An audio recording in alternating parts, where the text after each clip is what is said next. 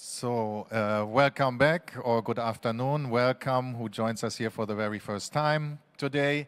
Um, we go on with the program in the afternoon, and we have uh, several uh, speeches and presentations this afternoon. Um, the first one is from Robert Marx. We had him already on stage here in the morning, director of Marx Technik, and he will talk about the cooperation between small and medium-sized enterprises and universities because they can create environmentally friendly propulsion systems.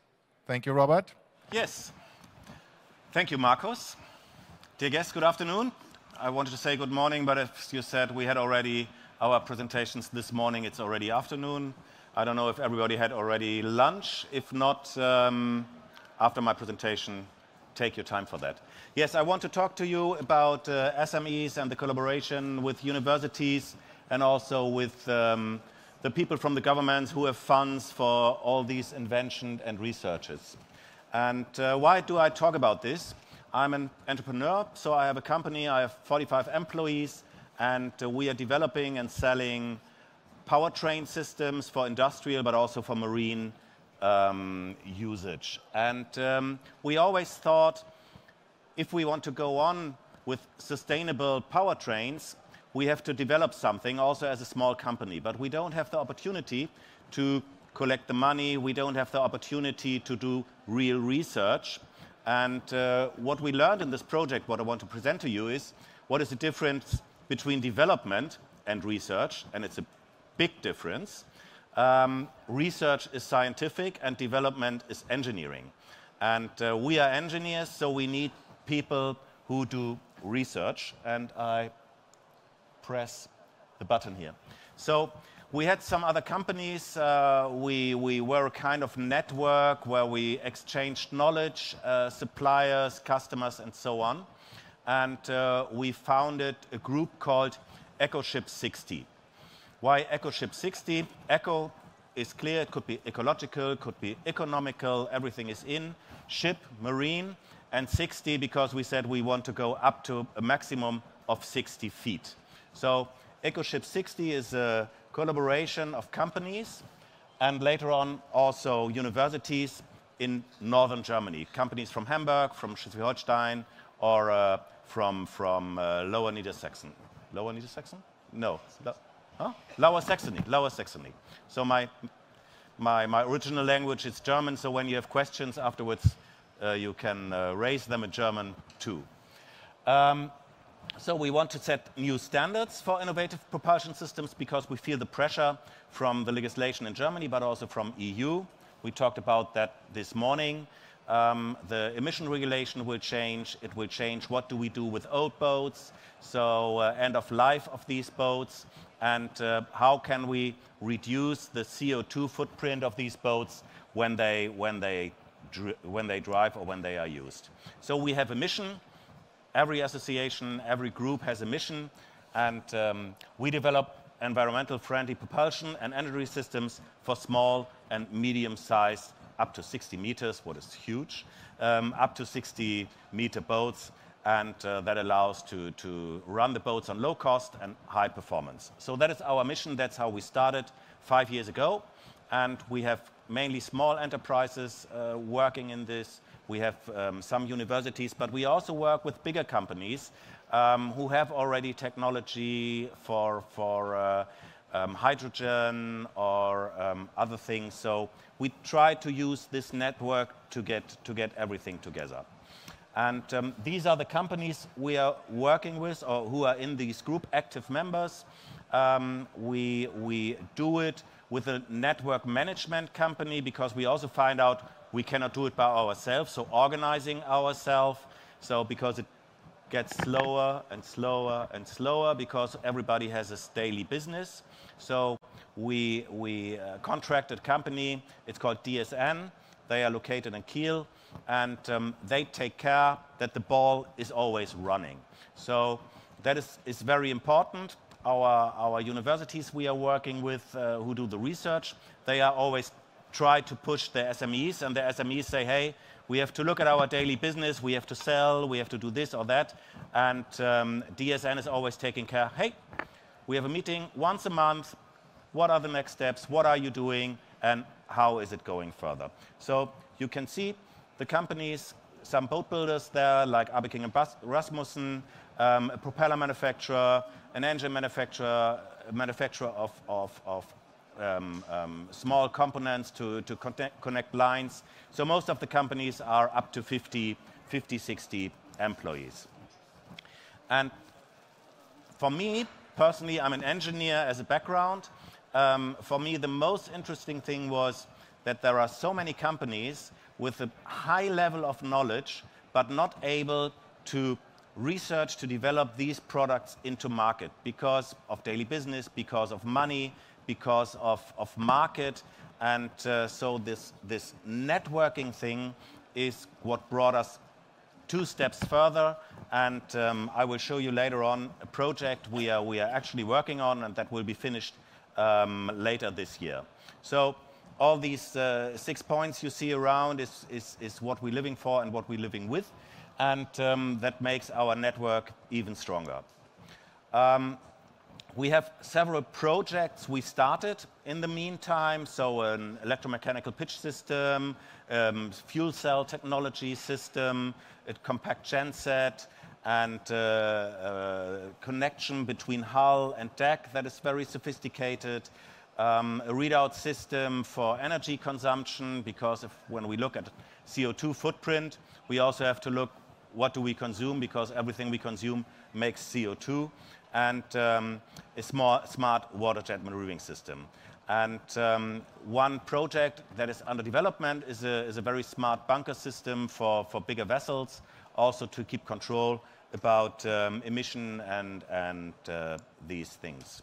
So this is our prototype boat, and um, it's a 16 meter boat, and uh, it could be used for pleasure in a different design um, but it could be also a workboat. And uh, why did we took this boat?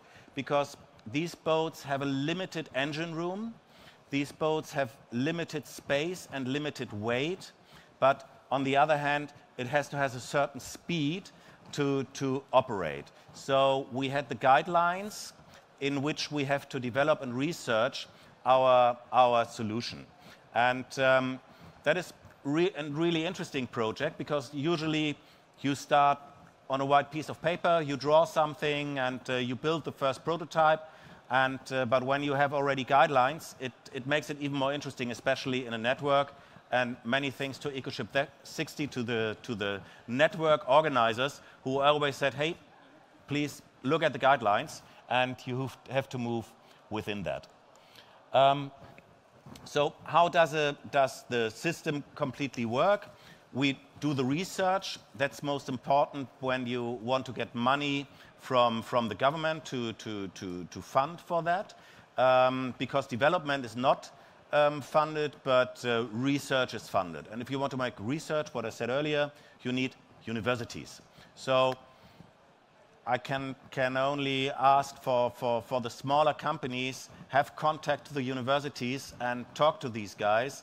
Um, they have uh, a lot of force in, in research and it can assist us as smaller companies to bring products into market. So research, then development, then finalizing um, the system sounds very easy. It's prototype building and then look for a user. The best idea is you look for a user at the beginning, not to develop something nobody's using. So, but then you find a user who wants, is able to test it, designing and prototyping it, and then launch it to market. And um, our first project that goes to market this year is a um, sustainable powertrain system. Um, it's funded by the Bundesministerium für Wirtschaft. What is the English for that? uh, Ministry for Economic and uh, Climate, whatever. So um, they have a big fund of money um, for research in, in this area. And most of the companies who get this money are huge organizations. So Philips, for example, they have a huge number of people working in Berlin and Brussels just for getting funds. And the small companies don't have the opportunity because we have to work the whole day and um, selling, and uh, so no people for, from us are in Brussels, and that's why we need this networks. So this is a compact fuel cell technology system or technology um, we developed. And um, we have these uh, five companies, or four companies, plus um, the, the um, University of Applied Science from, from Flensburg um, in this network. And everyone had a special step. And um, that's what I. Ah, that's not working. Okay. Um, what I said, you have a limited space. So we have space for a battery, we have space for a water tank, um, for the fuel cells, for a generator, and um, all this. And every one of these companies makes one part. It's, it's a, let's, you have to see it like a puzzle. And um, it's five, it's five uh, projects, and each of these projects is made by one company, but they all together make the, make the whole picture of the powertrain system for this boat. Looks really nice. The university did it. So, um, so what, is, what was the aim of the project? We want to take out the classical combustion engine and implement a fuel cell system um, and um, trying to have at the end the opportunity to scale it also to bigger or smaller boats. But the main goal was look at the use case of this boat and putting a fuel cell system in it um, so that we don't have a combustion engine in. The key challenges were the complexity, because when you have a pure fuel cell system, you don't have the power you need to run the boat. Um, then the efficiency, to run with the, with the hydrogen or methanol you have in the boat or in the vessel. So we had to decide, do we use hydrogen or, or, or methanol? We decided for methanol because you need less space. Um, and um, the economic risk, when you research and develop and you find out, hey, I have a great idea and it's a perfect product, but it costs 5 million euro. Um, so everybody says congratulations for your product, but uh, there's no market left and we always try to bring it in this area, in this fence, um, and uh, developing. So first of all, we tried to integrate the fuel cell, and um, we have a manufacturer of a fuel cell who said, okay, we, we have a fuel cell, you can run it with methanol, and um, you have uh, a certain output. But when you have the methanol, you need a tank system. So for uh, hydrogen or methanol, what I said, so we developed the tank system running on a boat. And the next system is, okay, when we have hydrogen or methanol, we need a safety system because it's different than diesel. So the, the risk you have for explosion or whatever is much higher and much different than what we had in the past. So after we checkmarked all these three boxes, we said, okay, what happens with the rest, with the, with the, with the heat that is still left from the fuel cell, but also from the, from the generators. I will explain later. Um, so can we use this heat too to make it possible to, to, to, to harvest for, um, for our propulsion system? And um, that is the last project also to, to, the, to recover the heat, bringing it back, harvesting it, and making energy out of it, and still in the, in the um, frame we have in this boat. So, ah, I have to go back. So um, we have um, at the end a system where the, the vessel can make their usual um, um, drive, their usual use case by the fuel cell. And, uh, but if it needs extra power because you have storm or you, you are out of the harbor or whatever, we do it by gas generators. They are also driven by methanol. And uh, we integrated all in this space. And um, we, yeah, we launched this product in a boat by late summer this year and presented to the Ministry of Economic and these guys who founded us. And um, we are really happy. It took five years, four years total, but um, I'm very happy with it. What I said, I'm entrepreneur and I'm very happy to have this network. And um, if you are entrepreneur too, too I would um, force you to build these networks and then you have the opportunity to bring new products, totally new products, to get into the market, which are environmental friendly, which are ready for the next 10 or 15 years. And uh, when we look at our, our presentation, or we had uh, one hour ago, um, we get a new emission regulation within the next five, six years, and this regulation will last for 10 years. And the industry has to make the steps now to prepare what has to be done for the next 15 years or 20 years. Because when you look at the market, a boat will live for 20 years or 25 or 30 years. And um, when, the, when the EU or Germany makes a new regulation, um, we have still boats in the market for 20 years, and we have to look beyond that. So this will work only when you're working in a network and when you have the right partners.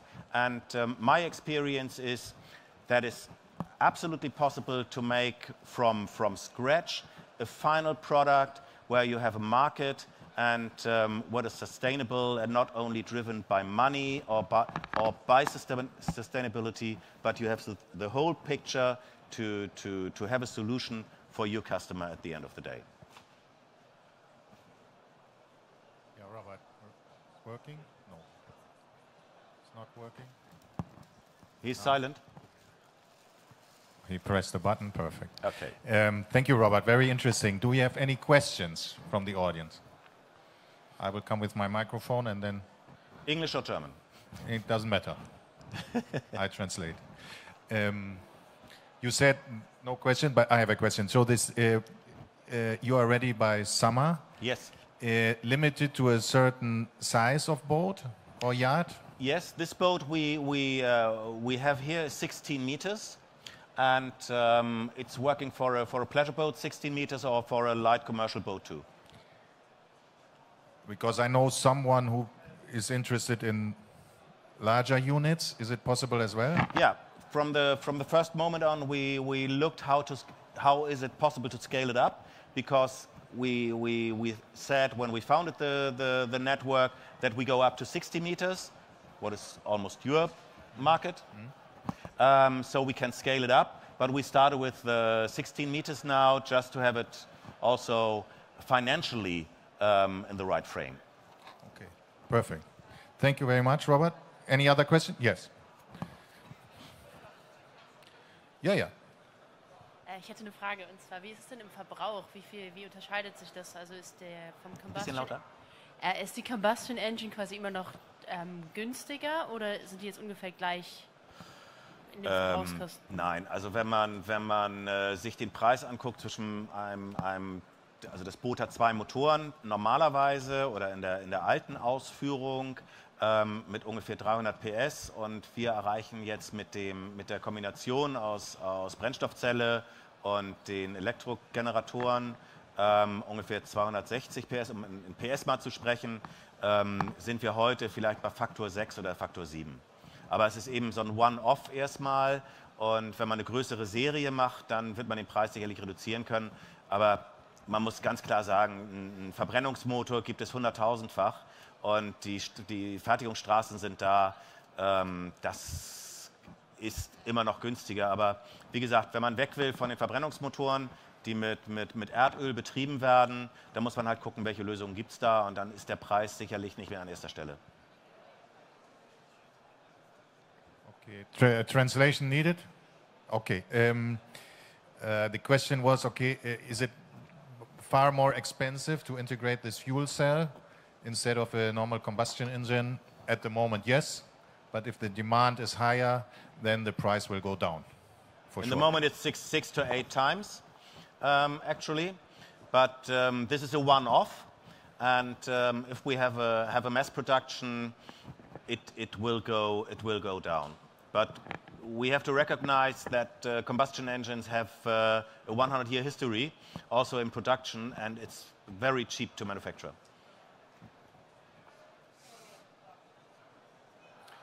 Okay, thank you, Robert. Then we go on with okay. the program. Marcus. He is here. You. If you want to talk yeah. to him in person, yeah. Thank you very much. Yeah. Thank you, Robert. Very interesting.